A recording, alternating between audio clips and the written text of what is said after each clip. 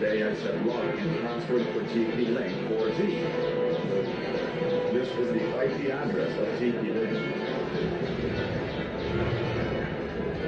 Open Blind web browser. Enter 192.168.0.1 to access TP-Link. Old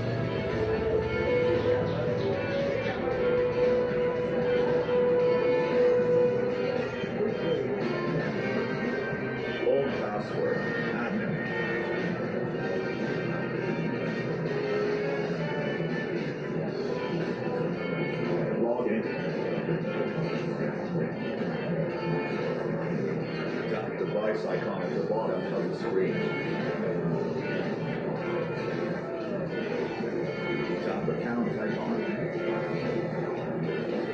Enter the old password in the first box. Then enter the new password in the next two boxes.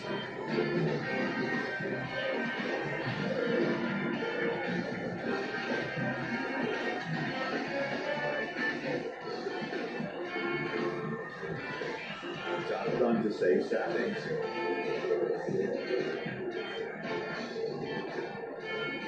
Log out. Check the result.